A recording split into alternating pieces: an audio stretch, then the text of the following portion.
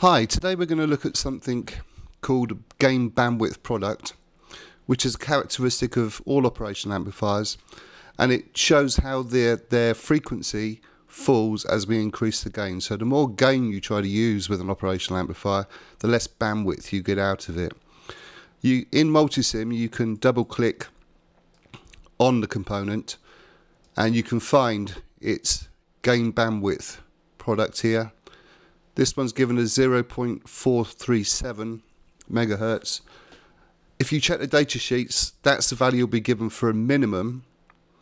The typical value given for most data sheets is 1.5 megahertz. Um, we will see that this doesn't have any bearing on the simulation when we do it. We're going to record all of our results in a table. We're going to have a normal gain we're going to show how that gain can be converted to dBs because when we're doing the analysis, it's done in decibels.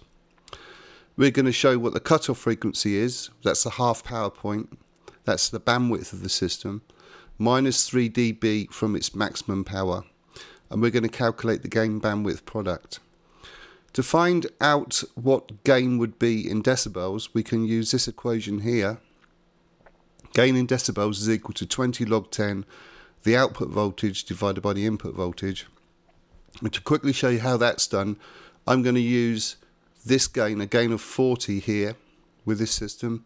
And I'm going to show you how it's done with an online calculator.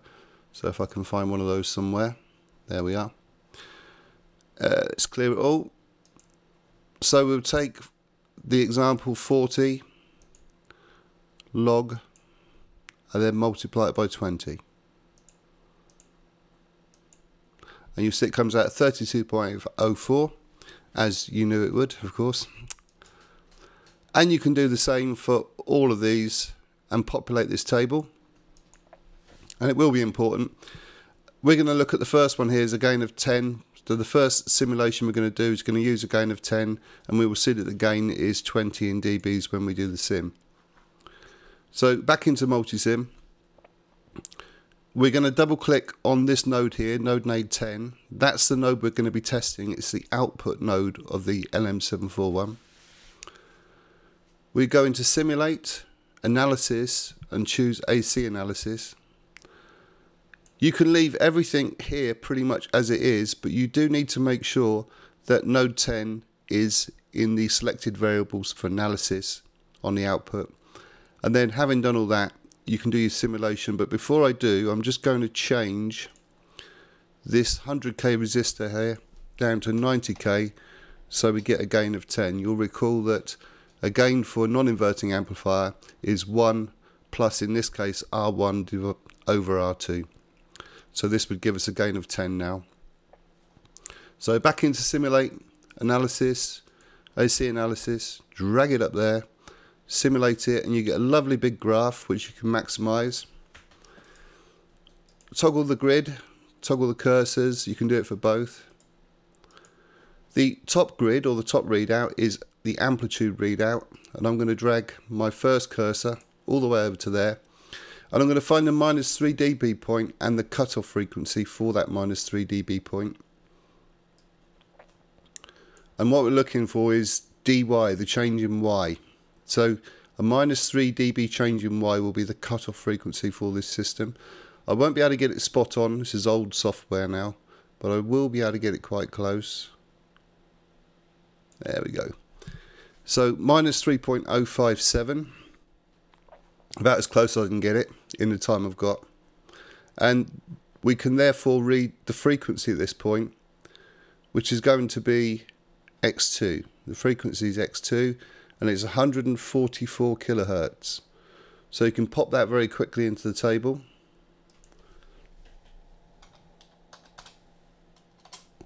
Hundred and forty-four kilohertz, wonderful.